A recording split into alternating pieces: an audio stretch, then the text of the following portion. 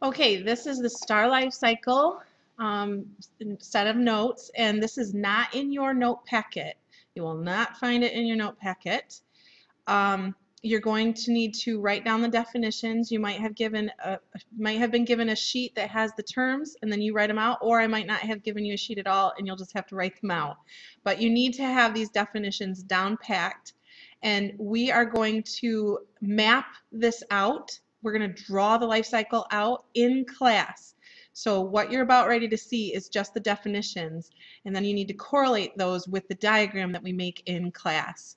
Now I know that this isn't in your um, your packet, but this particular slide is. So you can get your packet out. The rest of it is not. So get your packet out, and you should have um, star life cycle three separate paths depending on mass. Mass is going to be de the determining factor for which direction, which path a star takes. So we have low mass, medium, and high mass options. And the sun is a medium mass star and is projected to be stable for another 5 billion years and we'll talk more about what that stability means later. Okay, so that slide is in your notes. The rest of it is going to be on a different sheet of paper and I just want you to write definitions. Here we go. So it starts with a cloud of gas and dust and it's called a nebula. So out there there's a whole bunch of clouds of gas and dust. This is a famous one. This is the Eagle Nebula. Um, and you can see a foreground star here, but you've got all these clouds, and some of them absorb light, and some of them actually will reflect it, and some of them will actually generate their own, depending on what stage it is in the star formation. So nebula is like a stellar nursery. This is where stars are born. This one right here is the Horsehead Nebula. This is a dark nebula. It's absorbing the energy. Um, you see some either reflection or some emission from some of these other nebulas near it. Nebula. From a nebula, you have um, contraction, okay? So some kind of shock wave moves through and begins to contract the gases in the dust. And when it contracts, it begins to heat up. When it heats up, it begins to glow. So a protostar is what is the next step. And it's when the gases contract, they heat up. Fusion has not started just yet. That's why it's called a protostar rather than a full-blown star. This is an artist rendition of what a, the protostar might look like. So it begins to glow, and we've actually seen these um, real images. Um, I don't have any on here, but we've actually seen these. And so brown dwarf is the pathway for a very low mass star. So all stars will start in this, the nebulous stage, then they go to protostar, and then if it's a very low mass, it will only go to the, the brown dwarf. So this is going to be very low mass protostar. It's less than 0.08 solar masses. So that means it's definitely a lot smaller than our sun. One solar mass would be equal to our sun. So a, a 0.08 is really, really small. This is an artist rendition uh, showing what the sun looks like compared to a brown dwarf. And then this is Jupiter, just to give you a perspective on size, brown dwarf comparison here. Okay, main sequence once the protostar builds up enough mass, if it's if it's a medium mass star, it will build enough for fusion to kick in. And once that happens, we now have a new name for that star. It's no longer a protostar, it's called a main sequence. So if you have your flow diagram that we made in class, if we made it before you're seeing this, then be sure to have that out in front of you so you can kind of track the pathway. But main sequence is going to be stable, and that, that's a big deal, that, that word stable. That really means that the forces are balanced. And if you consider what forces would be happening in a star, you have a very large fusion force outward. And it's counterbalanced by the gravitational force inward. They balance each other so the star isn't like swelling up and shrinking and swelling and it's, it's just staying equal. And that's where our sun is right now in a main sequence. And it will stay there as long as there's enough hydrogen in the core to continue fusing. So the forces are balanced, the star is stable, hydrogen is fusing. And that's the only element that's fusing, and it's only fusing in the core. So our sun is a great example of a main sequence star. Um, this illustration is showing that we have the fusion force out by that force arrow, and then we have a gravitational force inward, and they're equal equal and opposite. Okay, we're going to um, follow a medium mass star here. So we have we start with nebula, then we go protostar, then we go main sequence. Once the hydrogen runs out in the core, it's no longer called a main sequence. It's now going to be a red giant, and this is really for a medium mass star. Low mass star really ends with brown dwarf.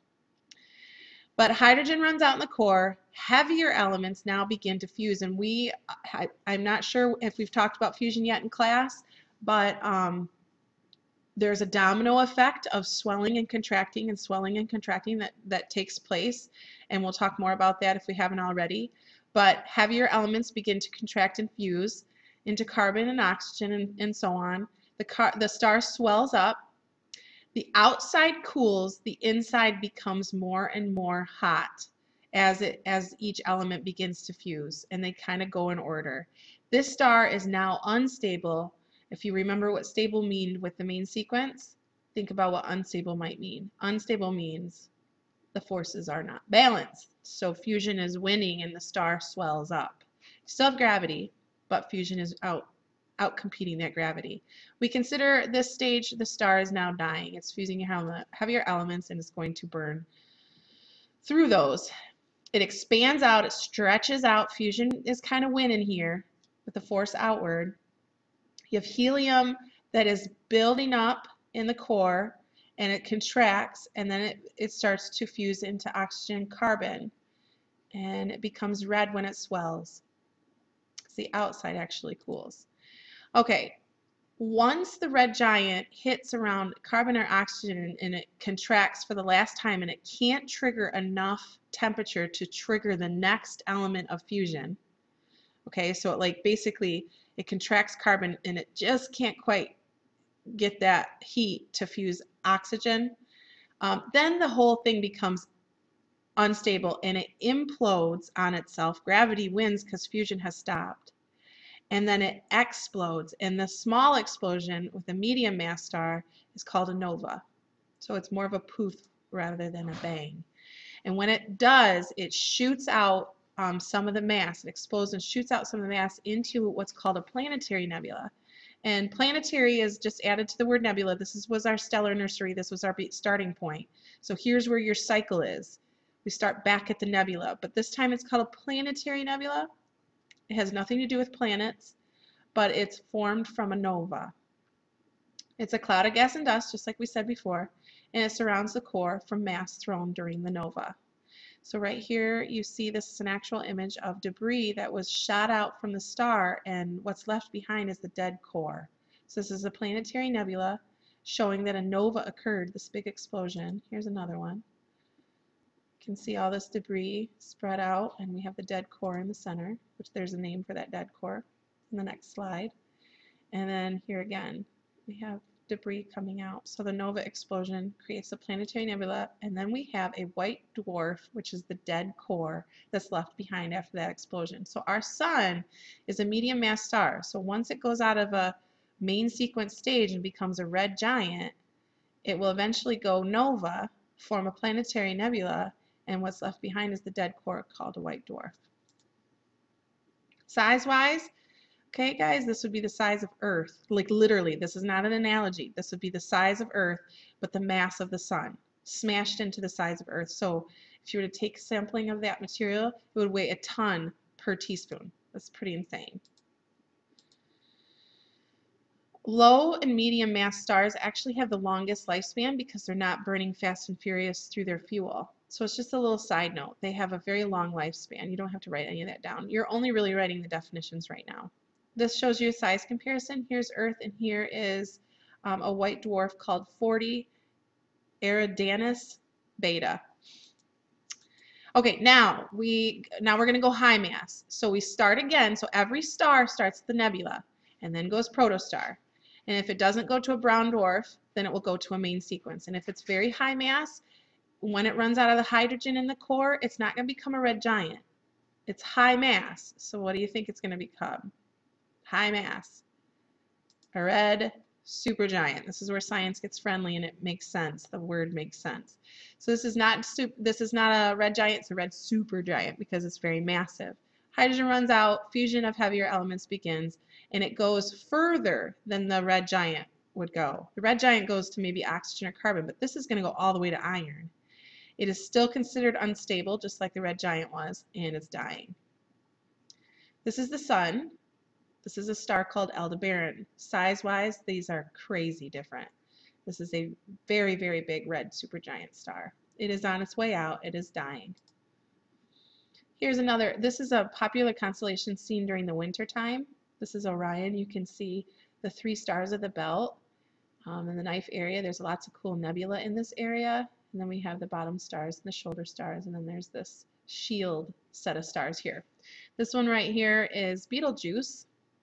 There's other um, pronunciations, but I like that one the best, Betelgeuse. And this is a red giant. This is showing the size of this red giant star. So it's taking in and bracketing the end, the edges of that star. Okay. This right here, from this point to this point, is the Earth's orbit around our sun. So that just gives you a perspective on huge, how huge the star is. So if this were, if this were the sun, our Earth would be inside it. That's how big it is. And then Jupiter's orbital path, you know, the sun would be in the center, and this is how big it, it orbits that's our sun. Jupiter would also be inside this star. So gives you perspective on how huge these supergiants are. Okay, now the red supergiant will go through and fuse through heavier and heavier elements. And right before it goes supernova, this is what the core looks like. So we have all this different lined up fusion. So we have hydrogen just floating around the outside. It's not fusing. Then we have it hot enough right here that hydrogen is fusing. And then helium fuses inside of that. It's even higher temperature. Carbon is beyond that, then oxygen, then neon, then magnesium, then silicon, and finally iron. Once iron builds up in the core enough that fusion stops because iron can't fuse, the engine stops. And so gravity wins, implodes this iron. Um, the rest of the layers implode as a response to that. Um, and fusion cannot kick in again because iron can't fuse. So the whole star implodes and is highly unstable and then explodes in a huge, huge supernova. Massive explosion of an unstable high star high mass star. So this right here is an image. This is an actual image of, of the before star. And this is it going supernova. I don't know how far away this star is from us, but I'm sure it's thousands of light years away. And this is how bright it is. Here's um, a little video clip of an artist's rendition of what supernova might look like. So it explodes out, and you have a nebula form again, and then you have these beams of radiation and energy that come out and it's spitting. So you have this dead core that's left behind. So supernova creates a nebula again. So this is again where the, the cycle happens. you can actually see supernova events occur in other galaxies. So this is a whole other galaxy. And right here is the supernova 2008D. Look how big it is. It's, it's like half the size of that galaxy. It's huge. Okay, neutron star. So what are the dead cores of a supermassive star? There's two options, a neutron star or a black hole. So a neutron star is also called a pulsar, and I'll tell you why in class. But it's extremely dense. It's a rapidly spinning core because of the collapse and then the explosion. Gravity is so intense that the electrons in the atoms smash inside the nucleus and combine with protons. Friends, this is not normal. this is not natural. And so it's, it's full of neutrons. They become neutrons. Um, Size-wise, these would be the size of Michigan um, 300,000 times the gravity of Earth, however, and about one and a half times the mass of our sun, all smashed into the size of Michigan. These are just some images that show kind of an electromagnetic field, why they why they have beams of radiation coming out the poles, and so on. My time is getting short, so I'm going to try to speed this up. Black hole is the other dead core option, and this is going to be the most extreme massive stars will form these. And the gravitational field is so intense, like cannot even escape and it, it is the end of, a, of the highest mass star that there is. Size-wise, volume-wise, it's smaller than the city of Portage. Okay, so this is an artist rendition of the event horizon of a black hole. And so gravity gets stronger and stronger, indicated by the box sizes. So the influence of gravity goes stronger and stronger. So, so stars that might go by it might swirl into it and then disappear into it. And then it'll gain mass and have an even stronger gravitational influence. Here's another arti artist's rendition. So we have stars changing their trajectory, and if they get too close, they'll orbit it, And if they get too close, they'll spin inside that event horizon and disappear. All right, my time is up. Um, hopefully you have your definitions down.